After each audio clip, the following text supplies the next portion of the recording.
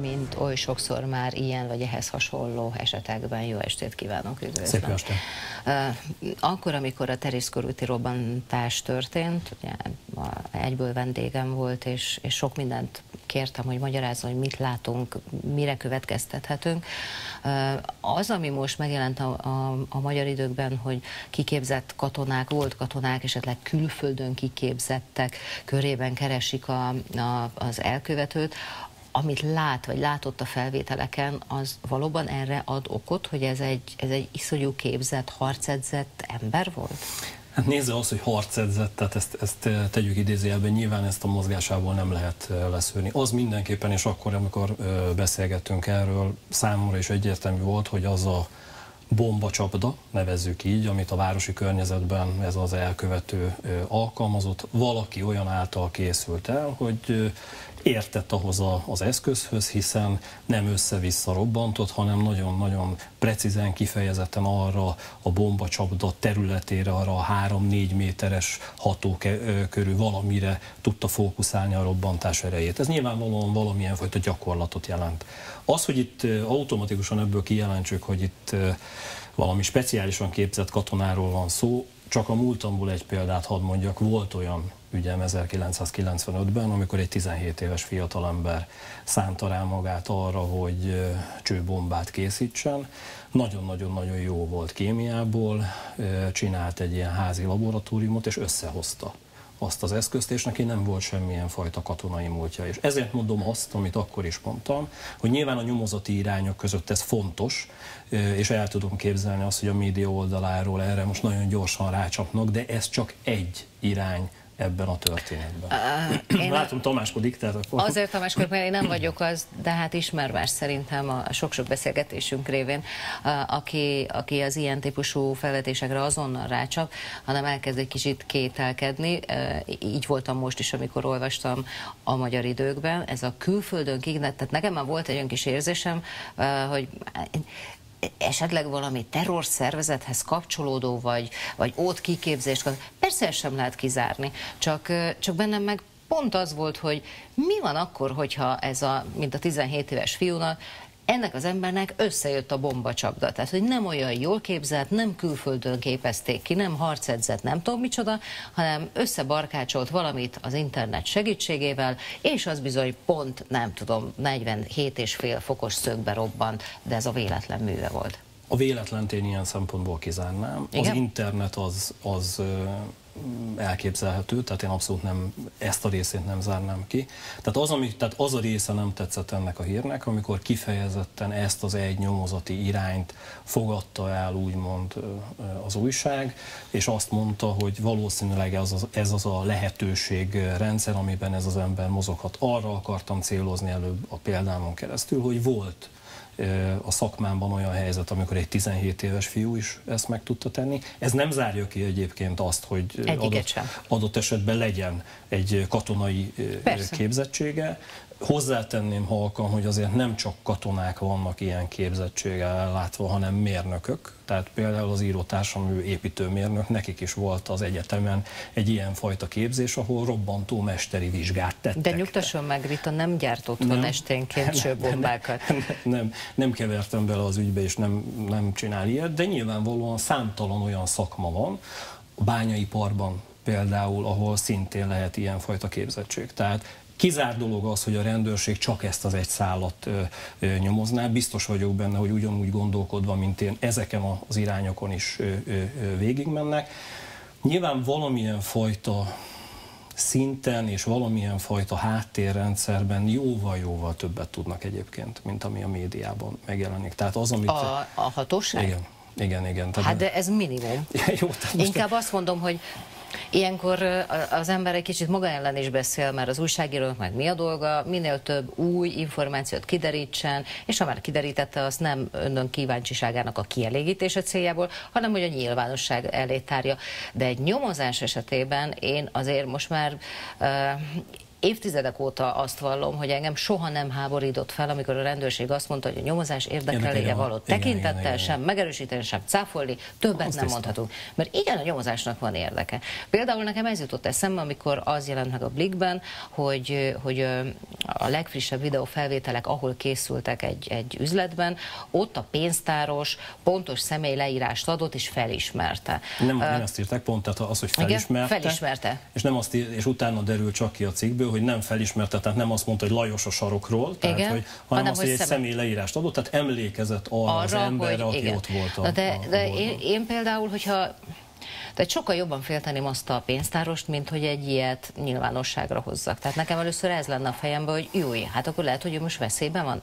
Nézze, ö, szerintem nincs veszélyben, uh-huh. de abban egyetértek önnel, hogy és ne, ne erre az ügyre gondoljunk, hanem az elmúlt években számtalan esetben volt, hogy a nyomozásnak olyan információi láttak napvilágot, aminek nem volt ideje. Nyilvánvalóan erre oda kell figyelni a, a nyomozást felügyelő ügyészeknek, egyáltalán a nyomozást irányító embereknek. Szerintem azért ez a, az újságcikk, és most itt nem védem a mundér becsületét, és nem nyugtatni akarok mindenkit, hanem ezt tényleg így gondolom, hogy ezután az újságcikk után biztos, hogy valamilyen fajta gyors végigpörgetése annak, hogy ki az, aki ilyen tippet kiad, mert egyébként tényleg ezek az információk nem tartoznak a nyilvánosság, pontosabban nem most tartoznak a nyilvánosságra, hanem ha van valamilyen fajta eredmény, akkor utána ezt el lehet mondani. Egyszerűen azért, mert, és ezt a nézőknek is érteni kell, abszolút elképzelhető, hogy most például néz bennünket az elkövető, mert nyilvánvalóan szeretné tudni azt, hogy, hogy mi az, amit a világban gondolnak róla, mi az, amit egy, egy hatóság gondol róla, a szakértők mit mondanak ebben az ügyben, hiszen valahogyan azért szeretné tudni, hogy most hol tarthat ez az ügy. Ezért kell nagyon-nagyon súlyozottan és odafigyelve foglalkozni ezekkel a, a, a kommunikációs helyzetekkel. Azért azt látni kell, és befejezve az, az előző gondolatomat, tehát az, hogy több mint ezer rendőr dolgozik ezen az ügyön, az, hogy például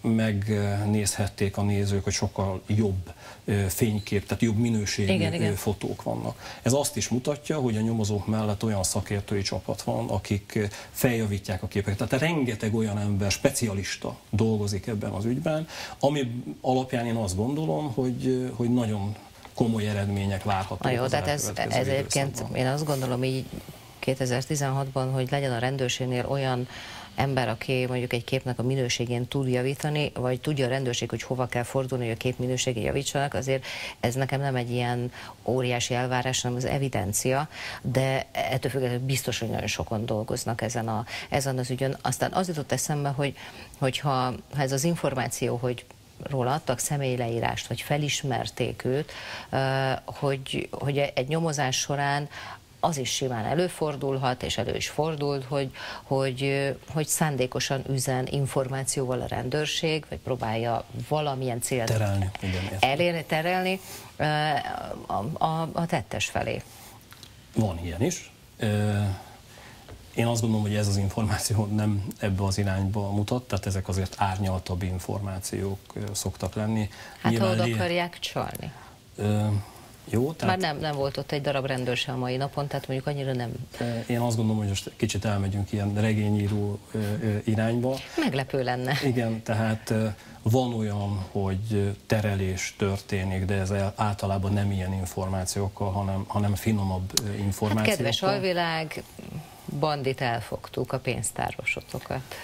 Jó, de mondom, ez egy finom. Azért mondom, hogy ez ne, tehát ilyen és ezzel lehet, lenni, lehet és nem olyan, hogy felismertek. Hogy a, a, a pénztáros nyilván rengeteg információt tud, és akkor innentől kezdve nézi a hatóság, hogy mit reagál. Ez így is volt. E, igen, tehát ez egy, ez egy valós példa. Én azt hiszem, hogy ebben az ügyben e, ezek részinformációk tájékoztatják és nyugtatni próbálják a lakosságot, hol jól, hol rosszul, hogy igenis a nyomozás halad, és ez tényleg így van, azt gondolom. Nyilván jóval-jóval előrébb járnak, rengeteg időt telt el, tehát szerintem az adatfeldolgozás nagy részén már túl vannak. Most már azért körvonalazódtak azok a fő irányok, amelyek a legvalószínűbb lehetőségek lehetnek. Hát, hogyha ha visszaemlékszik, beszélgetünk itt a magánéletbeli száról, az, az tulajdonképpen teljes egészében eltűnt, nagyon helyesen, tehát én is azt gondoltam uh-huh. első pillanatok ez, hogy ez, ez nincs ebben az ügyben. Tehát a, a, a hatóság dolgozik, ilyenfajta kommunikációk mentén próbálják ezt jelezni. Nyilván van az irányított kommunikáció, és van a szivárgás. A szivárgások nem jók, tehát uh-huh. amit ön említett, én ebbe a kategóriába tenném, de az irányított kommunikáció mentén mindenképpen egy fontos üzenet, hogy gőzerővel ez a nyomozás megy, és én azt gondolom, hogy eredmények várhatók. Milyen kifejezést használna erre az elkövetőre? Bátor, elszánt? Tehát aki oké, okay, hogy egy nagyméretű városról van szó, sok ember megy az utcán, van az utcán, számtalan ipari kamera előtt elsétál, headset van a fülébe, hogyha használta a telefonját, az mondjuk egy jó hír lenne a rendőrség számára, valamikor biztos használta, de azokban a cellákban, hogyha használta, akkor ez egy fontos info lehet. Szóval, hogy nem, nem, nem egy rejtőzködő úton, módon ment oda, hanem ilyen iszonyú magabiztosan.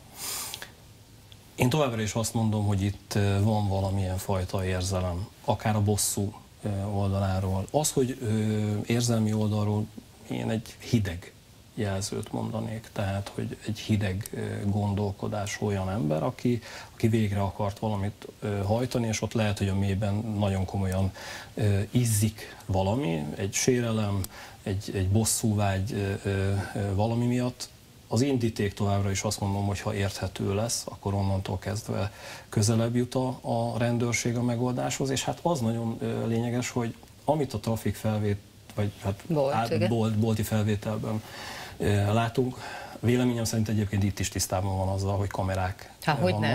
Tehát, hogyha megnézi azért a, a tehát nyilván ő profi vásárló, tehát hogy mondjam, rengeteget jár boltba, tehát pontosan tudja azt, hogy az ember fölfele is néz, tehát ugye nem csak, nem csak a szemmagasságában szokott vásárolni az ember, tehát ugye végig szemléli a, a polcokat. Ha megnézi egyébként a mozgást, ő tudatosan nem néz Hát vagy legalábbis fejet. azt nem hozták nyilvánosságra, de hát mondjuk abban meg nincs. Ez is lehet, igaza van, de ez hát, is lehet, de mondjuk az azért nem érthető, nem mert hát igen, igen tehát hogyha, ha azt kérik, hogy segítsünk, uh-huh. akkor jó, hogyha minél jobb minőségű képet kapunk. Tehát én azt gondolom, hogy végig tisztában volt ez a személy azzal, hogy, hogy kamerák vannak, de továbbra is mondom, ez még nem jelenti automatikusan azt, hogy ő a legprofibban kiképzett valaki. Egy példát csak hadd mondjak, ha nagyon-nagyon profin kiképzett terrorista lett volna, akkor nem sétál hanem menekült volna. Egy profi terrorista pontosan tudja, hogy az a feltűnő. Tehát abban a pillanatban... A séta a feltűnő, hát nem igen. a menekülés. Hát, hogyha elkezde...